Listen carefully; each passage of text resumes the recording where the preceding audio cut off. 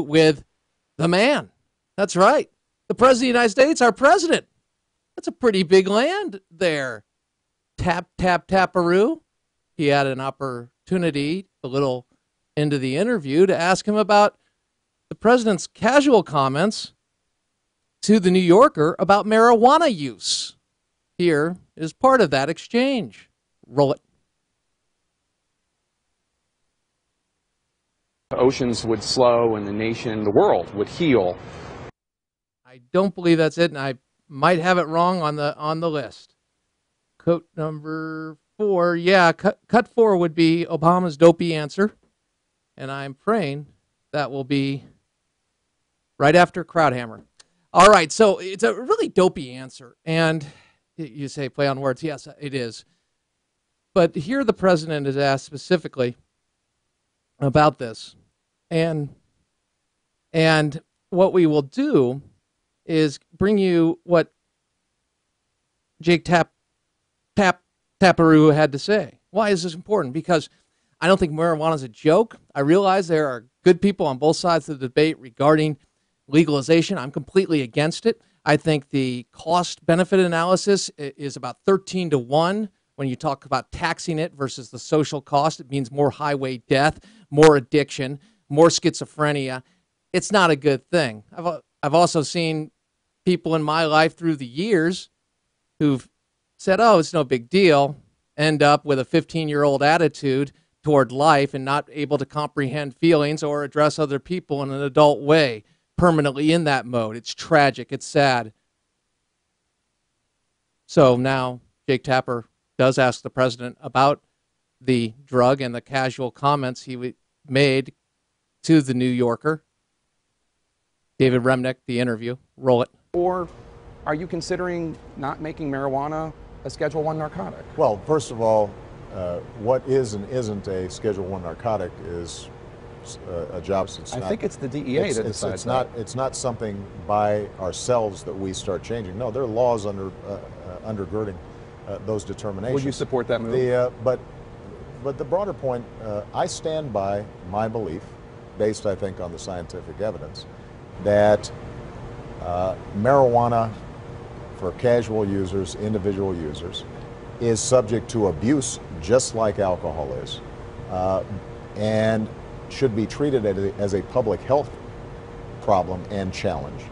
But as I said in the interview, my concern is when you end up having very heavy criminal uh, uh, penalties for individual users that have been applied unevenly uh, and in some cases uh, with a racial disparity. And I think that is a problem. Over the long term, what I believe is if we can deal with some of the criminal penalty issues. I, I got news for you. Uh, the president sees this through a racial lens. It's 1% as actually less than 1% when we're talking about people that are just users and individual users who, who are in prison for that. The, the claims, you got to go to the DEA website, and there's evidence also on the account of people going to jail and the racial disparity, calling our, our justice system somehow it's racist and penalizes people of color more. Well, that's not true. Heather Mac Donald, Heather Mac Donald of the Manhattan Institute has done some outstanding work there. And she's addressed study, she lists three studies in a particular 10 page article she wrote about this. And so the president's just flat out wrong. He's also wrong about the DEA and the scheduling uh, a Schedule One narcotic. It's amazing. He says Congress has to do this, yet he'll make immigration law. I stop. Not going to go. Just focus in, ride on it, pet the cat, silly hat. There you go. See, I've been working on it. Thank you, Jesus. Now, what he did was he said, okay, no, that's Holder's job. Well, Reason Magazine and a whole host of others have said, no, not actually true.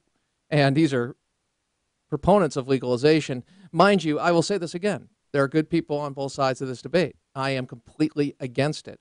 And the idea of casual use and the addiction that may be not physical but mental, it is also people are smoking it for the effect. It stays in your system longer, the THC levels are higher, I just, this is not a road you want to go down. And I, I'm troubled by the president because if I went to part two of the answer, I, I can't do that right now just for time, I'm going to bring this up on Monday.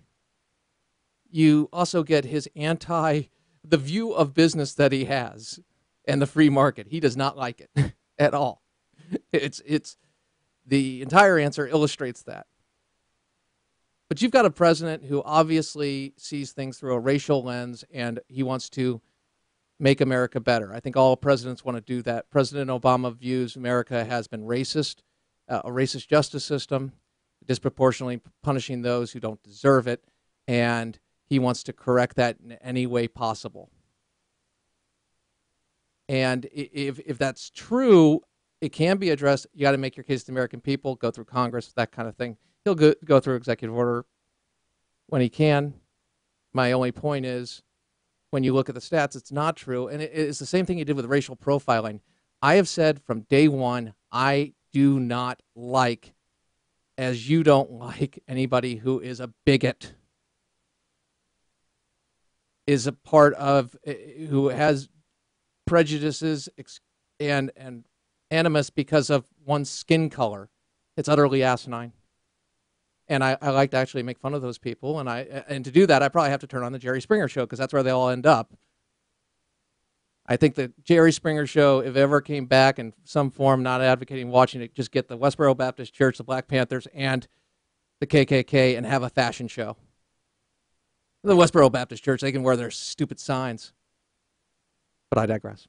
Now, that's the view he has, and it's sad because it automatically puts the onus on people that are enforcing the law, and it casts it, it's casting aspersions on on our justice system, and there it, it also promotes the victim mentality. Talk more about that with our good friend Bruce Thornton next hour. Right now, we keep moving. President Obama using the power of the pen asked about the comments of the Stop Act, which is stop this president, uh, stop the laws of this president, in essence, and lays out certain things regarding the Affordable Care Act and immigration. He also references Senator Ted Cruz in this clip. Senator Cruz called the presidency of President Obama, an imperial presidency. Here is his response to Congress's claims and the resolution known as the Stop Resolution. Roll it. Ted Cruz of Texas, who president calls this the imperial presidency. And in the House, there is this thing, as you know, called the STOP Act. They want to rein in what you're trying to do. Uh, how do you respond to that? Well, I don't think that's very serious. Um, the truth of the matter is, is that every president uh, engages in executive actions. In fact, uh, we've been very disciplined and uh, sparing in terms of the executive actions that we've taken. Uh, we make sure that we're doing it within the authority that we have under statute, but uh, I'm not going to make an apology for saying that if I can help middle-class families and folks who are working hard to try to get in the middle class do a little bit better, then I'm going to do it. And you know, I think it's it's a tough argument for the other side to make that not only are they willing to do any, uh, uh, not do anything, but they also want me not to do anything. Uh, in which case, uh, I think the American people, uh, uh, Uh, whose right now estimation of Congress is already pretty low, uh, might uh, might have an even lower opinion on it. The STOP Act is not something you take seriously. I I'm not particularly worried about it. Yeah, gr- yeah, great follow up. I'm sorry, I'm just disappointed in Tapper. I'll get to that a little later.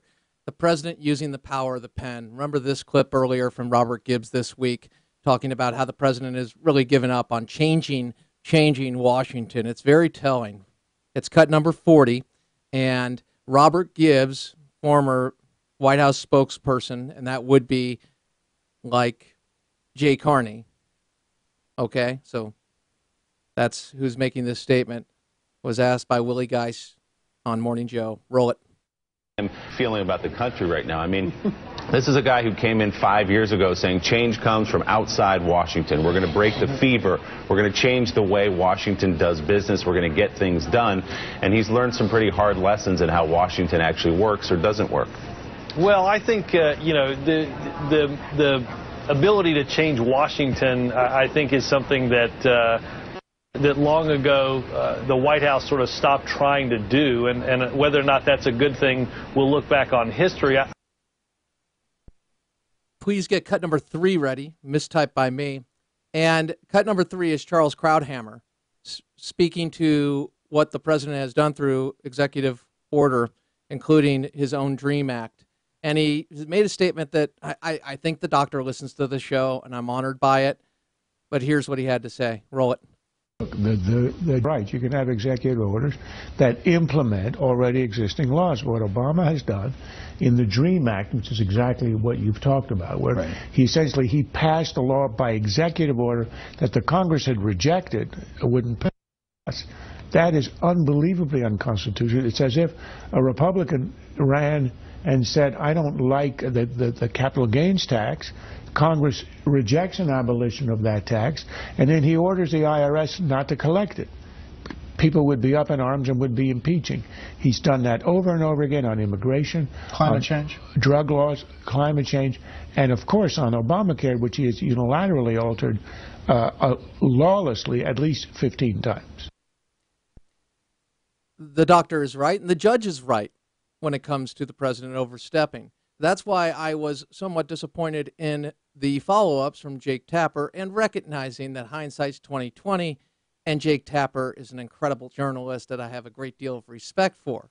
I also have a great deal of respect for our upcoming guest who also is an incredible journalist. His name is Chris Woodward and he's going to be with us on the flip side. And we're going to break down more of the interview with Jake Tap Tap Taparoo and the president. We're also going to ask. I'm going to ask Chris, why is Jon Stewart a better interviewer and at times elements of journalism, journalism and journalists than people that have the job and that is their sole responsibility. And Jon Stewart's a comedian and a commentator. Why does he do a better job of pressing politicians and seemingly is at times more informed than the White House press corps? Pretty good question. I bet you want to hear the answer. Well, Chris Woodward will answer it. He is the business environment reporter for OneNewsNow.com and American Family News. My name is Crane Durham. This is the Friday edition of Nothing But Truth, proudly on AFR Talk.